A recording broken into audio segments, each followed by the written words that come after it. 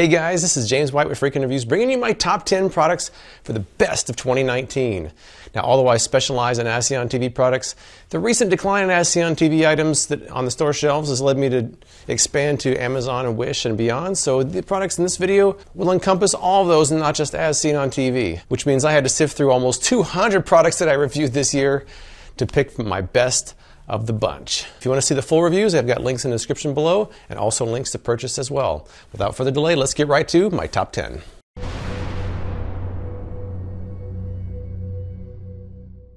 Number 10 on my list is Socket Shelf, which is an as seen on TV product. You plug it into your wall, you get extra sockets, you get USB ports, and you get a shelf. Now, there weren't a lot of as seen on TV products released in 2019 on a significant level. But this is one that I actually thought exceeded my expectations and a little bit better than I thought it would be. I found it more useful than I expected. In fact, I'm charging my phone right here, and as you can see, it's on the socket shelf. It's a pretty simple design, but it's actually pretty useful. Here's some scenes from my original socket shelf video. This is socket shelf. It's a as seen on TV, eight port surge protector. Right, here's the glorious shelf. Two plugs on this side, two in the front, two in the side, and you got two USB ports. But not only do I have better space optimized, but I still have four more outlets, so uh, I'm pretty happy with that. Shaving gel, miscellaneous, Q-tips, beard oil, more. I actually think I have more space. I think this socket shelf with this wide design actually might be a little bit better. I'm a little bit surprised. As seen on TV, socket shelf comes out on top. This one has, I think, the best shelf of them all. It seems to have the most shelf space, and the USB ports are in a convenient location.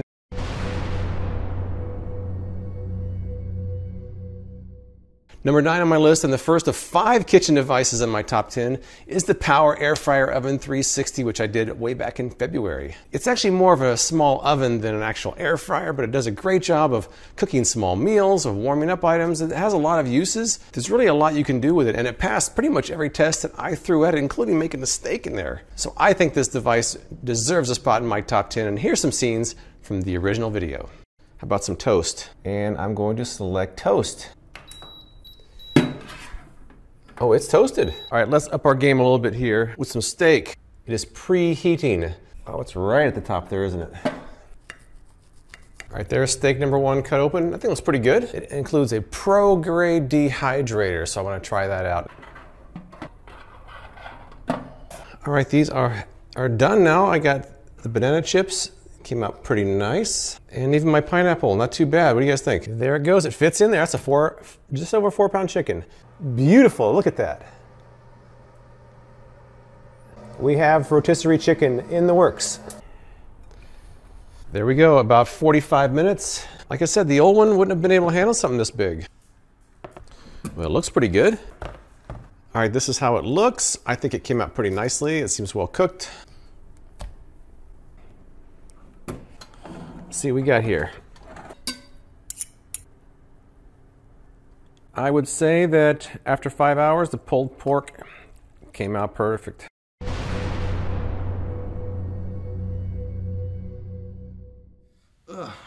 Oh, you're here. Well, since you're here, this is number eight on my list, which is the Beautyrest pillow that I compared to a more expensive memory foam back in October. This has actually become one of my favorite pillows that I use every day. So here's some scenes from my original comparison of Beautyrest and a more expensive memory foam pillow. I'm comparing a $50 memory foam pillow from Beautyrest and a $155 memory foam from Tempur-Pedic. Let's open the Beautyrest now. All right, it feels maybe a little bit softer. Ventilated memory foam, which supposedly keeps the hot air away from you. Beautyrest feels much softer. This feels pretty firm. This feels pretty soft. Here, this is one large memory foam piece, but it does appear to have a coating on one side. Wow, that's pretty soft. I did really like the way it felt though. It's actually one of the nicer pillows I slept on, especially after only one use. I like the Beautyrest better, even though it's only 50 bucks and this was 155. But side sleepers, that's exactly where you want it to be right there. I just felt, it felt nice from the very first use and it still feels that way.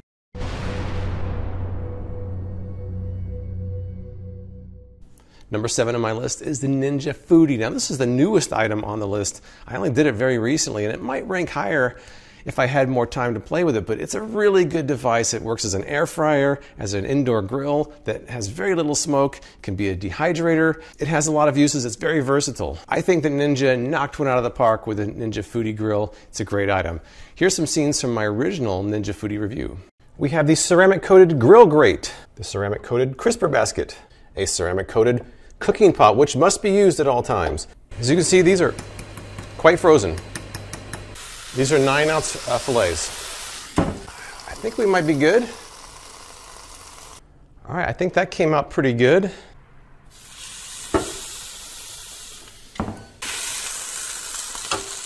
All right, let's open this up. And there you go. What do you guys think? I've got these, which I just prepared potato wedges, air crisp, 390. Here we go. All right, it has been 20 minutes. Let's check these out. Looking pretty good. And there it is. What do you think? I think it's pretty good. Probably should let these sit before tasting them. And there we go. I think they came out pretty nice. I've got one layer of banana chips, lightly coated with lemon juice. All right, see you in the morning. Here we go. I will. I think it's, it's a dehydrated banana. I think it came out pretty much like I would expect. I want to try a couple of small steaks. These are a four and a half ounce and a six and a half ounce tenderloin. Whoa. Ooh, look at this. What do you guys think? I think it was pretty good. Uh, that was only seven minutes. But I think that all their advertising claims about what this device can do are accurate. I'm actually quite happy with it and I'm going to continue to use it.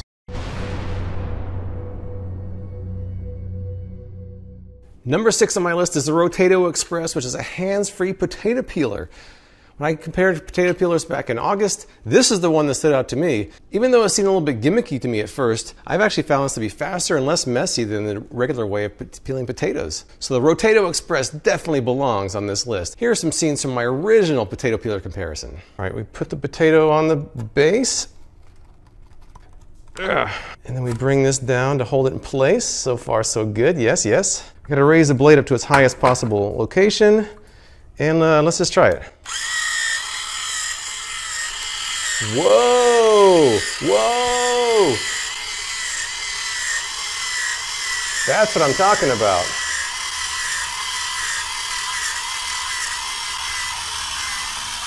Now that was pretty cool and effective. Check this out. Beautiful. Not only that, but you get this cool peel. Look at this. The kids would have fun with this. I bet you could have your kids enjoy peeling potatoes with this thing. Spiralizer Rotato Express. No competition. This was faster, but look how much, look how smooth and uniform this one is. Spiralizer by hand, not so much.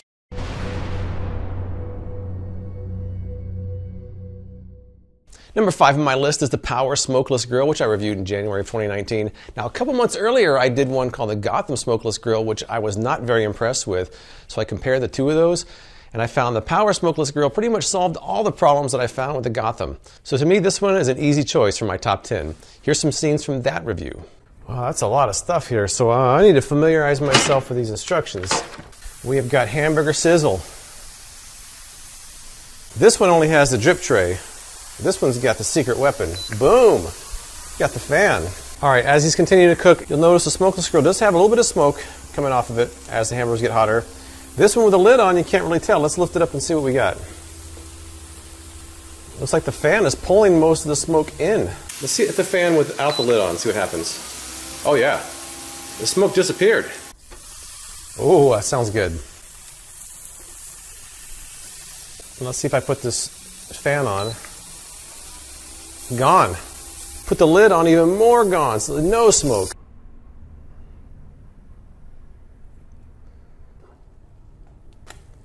Hey, I got a little bit of brown. But if I had to choose one of these, I would definitely go with the Power Smokeless Grill because grilling inside, the smoke is significantly less, and to me, that's the reason people are buying this.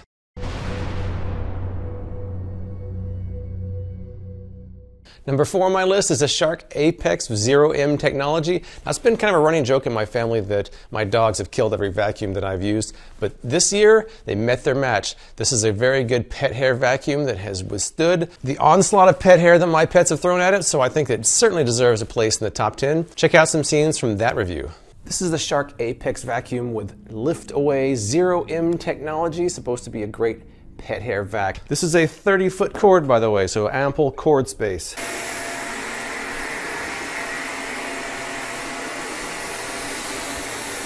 Again, just to compare, there was a little bit on the bristles here, significantly more on the Ion Flex, so it's definitely something that's working for this vacuum. This one, I barely have to clean it. This one I have to clean after every use. And she's gonna contribute a bunch of pet hair for me. Good girl.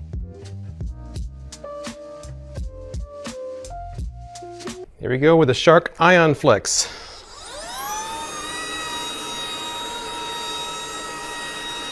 Now the Apex.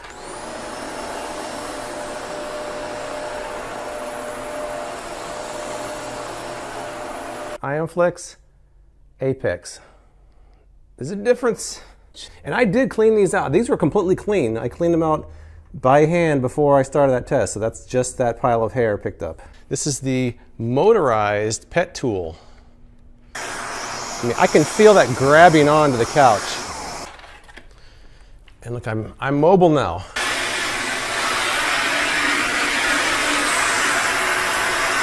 So overall, I think this is a very good product.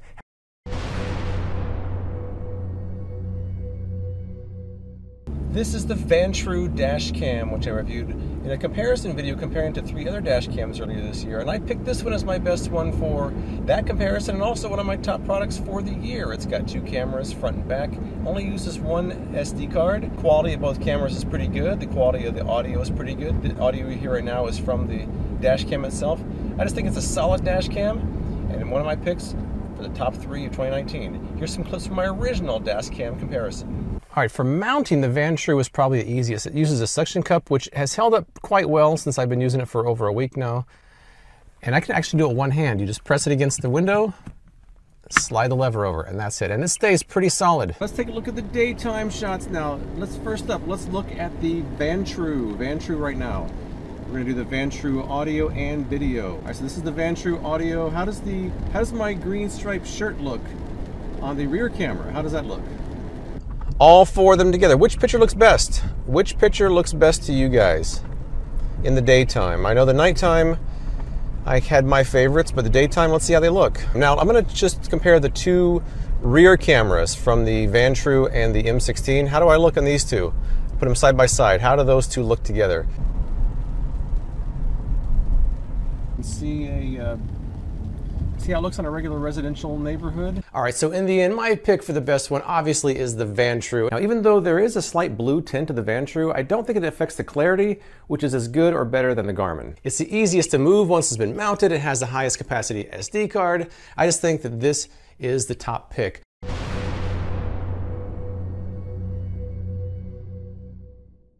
Number two is not a single item, but a collection of them from Dreamfarm. I first ran across them when I was doing pizza cutters. And the Scizza was my pick for the best pizza cutter. And then later on, I did a collection of Dreamfarm items, such as the Klongs right here. And they're really just utensils that the company has kind of slightly improved. And their improvements all make sense. So I think Dreamfarm definitely deserves a place high on the list for the best of this year. Here's some clips from my original pizza cutter comparison and my Dreamfarm collection review. Oh, wow. Whoa, wait a second. That cuts really good. Whoa, whoa. I'm shocked at how well that did. Now you're supposed to be able to serve slices as well. So after you cut it, oh, wow, look at this. I'm actually kind of a fan of this. Press the garlic and then when you are done, you push it and this is supposed to scrape off the excess. And then this button allows you to eject the peel.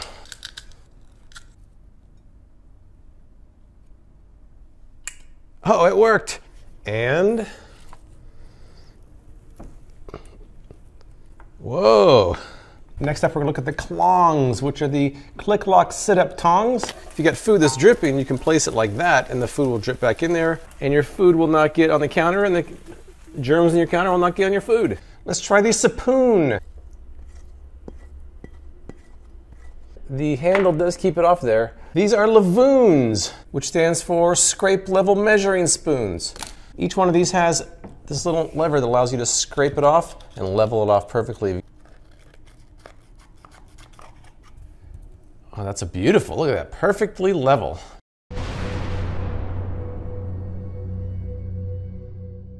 This is the BedJet and my pick for the best product that I reviewed in 2019. This is the version 3. I reviewed the version 2. There isn't a huge difference between the two of them. This one just seems to fit under the bed a little bit better. And what the BedJet is, it's a climate control for your bed. It pulls air in, pumps it up through this tube into your sheets. It can be cool air in the summer, warm air in the winter. The more I've used it, the more I like it. Now, I wasn't going to do an item this expensive for my top pick of the year, but when I was going over the items I did this year, I kept going back to which one do I use the most, which one do I enjoy the most, and this is the one.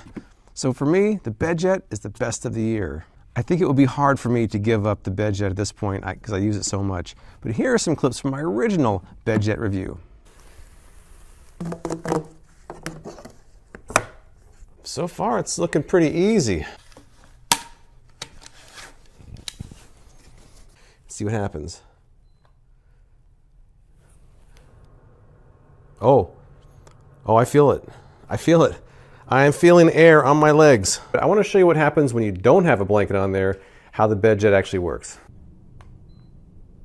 And here it goes. Again, you're supposed to put a blanket on top to hold it against you, but that's exactly how the process works. Now, BedJet gives you this remote here, which is certainly functional. They give you an app, which is even better. You can see the fan is certainly working well because it's actually blowing this up like a balloon. And I want to see how it compares to when I'm using the cloud sheet from before versus a regular sheet now. Let's try it.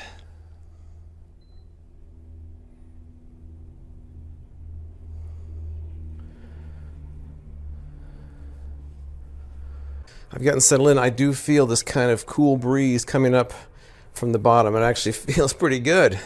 The BedJet gets its air from the coolest part of the room, which is going to be on the floor. And you can actually set the temperature you want. One side of the bed is 77. Whoa.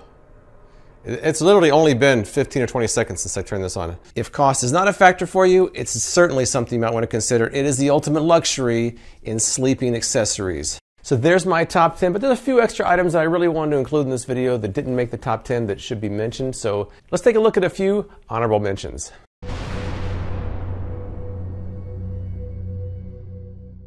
Now, over the summer, I did a few weird gadget videos, and in one of those videos, there was this stapler, which is actually not really a stapler because it doesn't use staples. It's a staple free stapler even though it seemed a bit gimmicky at first, it's actually something I use often. I actually reach for this over a regular stapler now. But here's some scenes from my original video. The Plus Staple Free Stapler. Oh! Oh wow, look at this. It did put a hole in the corner. It's actually a pretty big hole. Oh yeah, that handled that no problem. How well does it hold these pages? Pretty well. So your paper goes in there.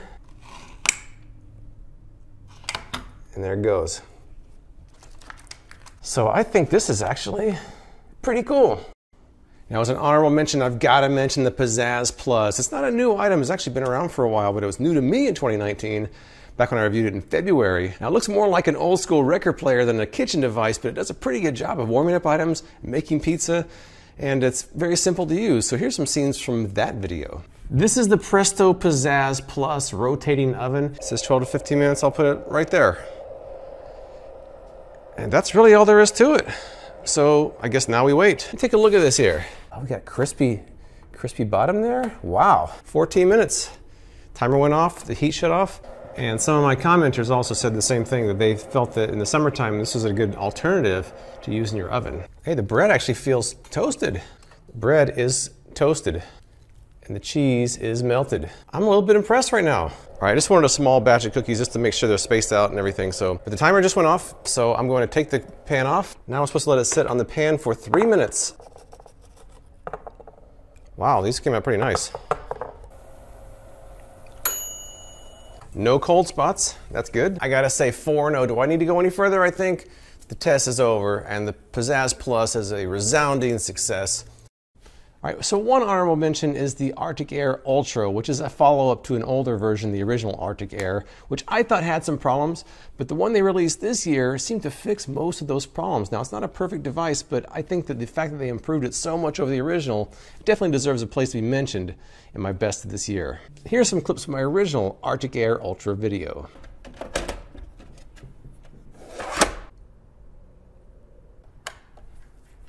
here is the power button.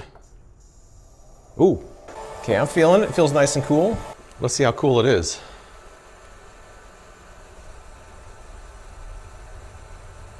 All right, so here is the original Arctic Air with the Arctic Air Ultra. You can see there's some design differences. I definitely feel like this one blows much stronger than that one. So, you know, 60 degrees. Let's try the original. Oh, look at this. So I kind of like that they've actually taken the original and improved on it. The instructions state you can get the filter wet and put it in the freezer for even more cooling action. So I just pull out of the freezer and I'm gonna see how cold it really gets. Let's check it out. That is cooler. So now we're getting uh, 49, 50 degrees. But to have it sitting there right in front of you, I think that it is cooler than a small fan. So I think that in that respect, they've done a good job improving the original. So that's it, guys. That's my top 10 and honorable mentions for 2019. It's been a fun year. I appreciate you guys who've stuck with me. And I can't wait to see what 2020 holds. I'll see you next time.